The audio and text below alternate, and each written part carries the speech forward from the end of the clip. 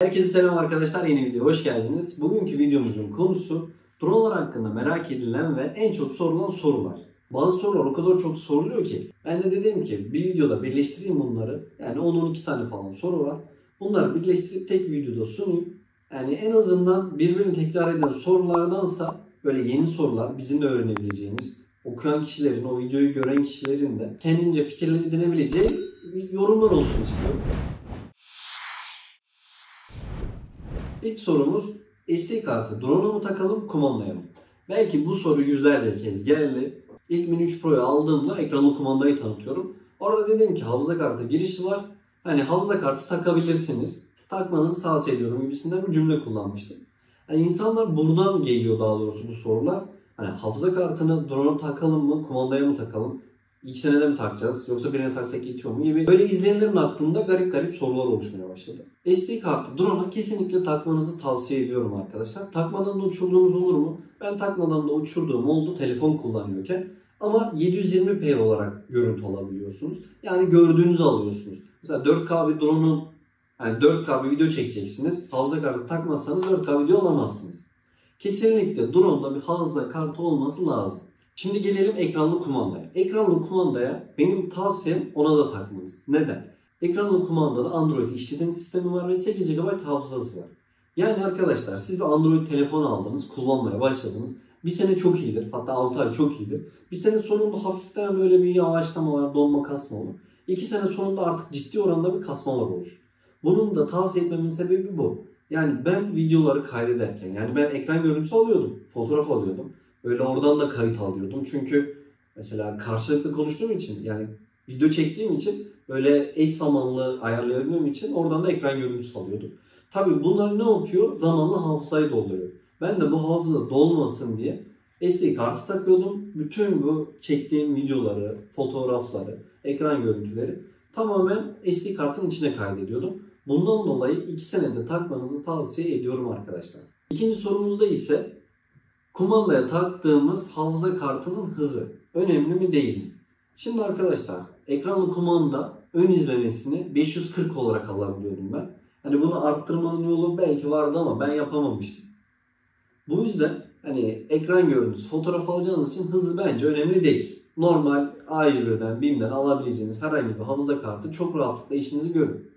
Ama benim tavsiyem ben video çekmeyi çok seviyordum arkadaşlar. Yani gittiğim yerde yani 3 batarya kesin biterdi. Yani bir video çekmeyi biliyorsam 3 bataryamı da kesinlikle bitirirdi ve bunların tamamı video çekerek geçerdi. Buradaki tavsiyem de şu. Eğer siz video çekmeyi seviyorsanız zaten drone'a kesinlikle U3 bir yani hız yani okuma hızı yüksek olan U3 sınıfında bir hafıza kartı almanız gerekiyor. Hafıza kartı videomu izleyebilirsiniz yani seçenek için. Burada kendimin yaptığım ve size tavsiye ettiğim şey drone'a uygun olabilecek bir hafıza kartı almak. Ben 128, 128 ve 64 GB olarak 3 tane hafıza kartı kullanıyorum. 64'ü kumandaya takıyorum. Yani 128 de olabilir. Bilgisayarda yerim olmayabilir. İkinci 128 de.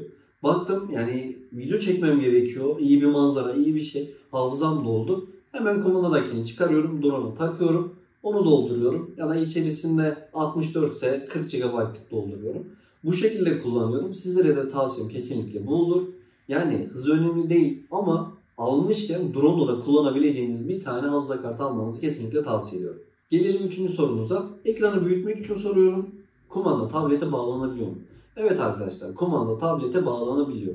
İster ekranlı kumanda olsun, isterse normal yani RC kumanda olsun. Tablete aktarabilirsiniz görüntüyü. Yani burada da amacımız iki ekranda da görebilirsiniz. Tabi buradaki ekranda görüyorken tabletten de görebilirsiniz. Tabletten de canlı yayın yapabilirsiniz. Aklınızda bulunsun.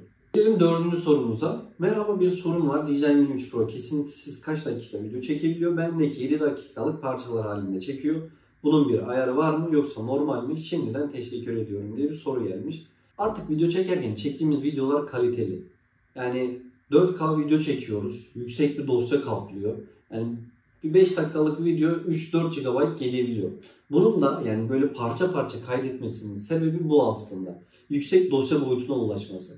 Yani 20 GB'lık bir video olsa ufak bir yerinde bir sorun oluşsa yani dosya yazmasında bir sıkıntı olursa, dosya hızı yetişmese bütün video çöp olacağındansa böyle parçalar halinde yapıyor. Yani 3 dakikalık, 5 dakikalık kendini koruma alıyor. Korumaya alıyor olarak değerlendirebiliriz. Bunlar gayet normaldir.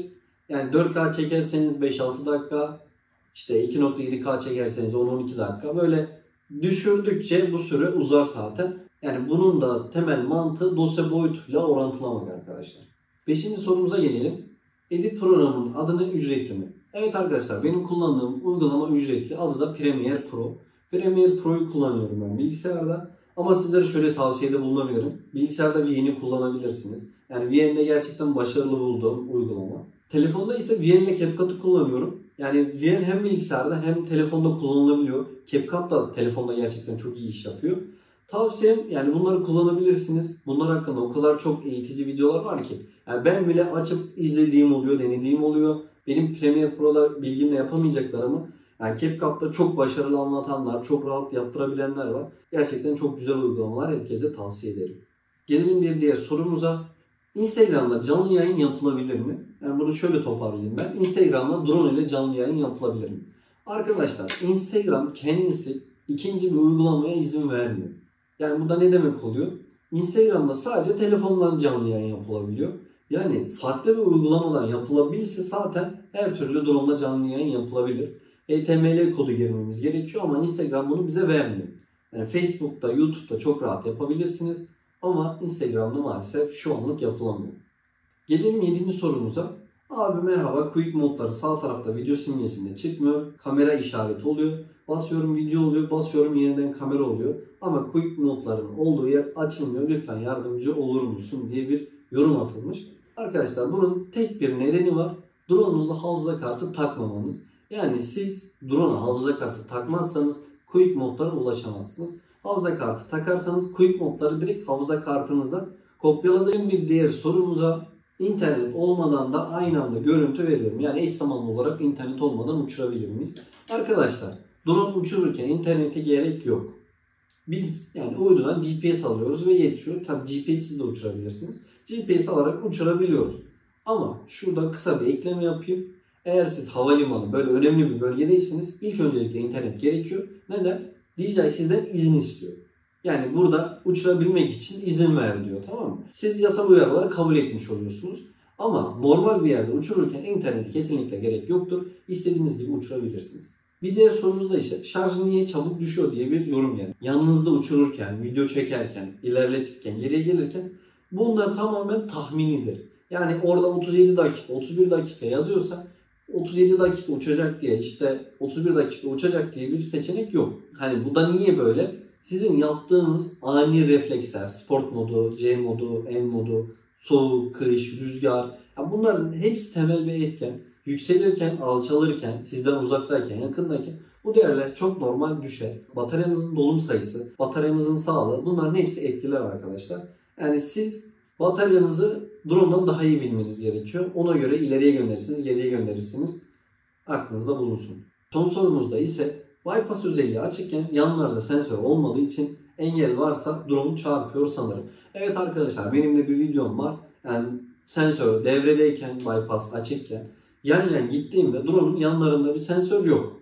Bunlar da sensör olmadığı için yanlardaki engelleri göremeyiz. İleriye doğru giderken öndeki sensörler görür. Ama yandakiler görmediği için kesinlikle bir çarpma olur. Burada da artık sizin dikkatiniz önemli.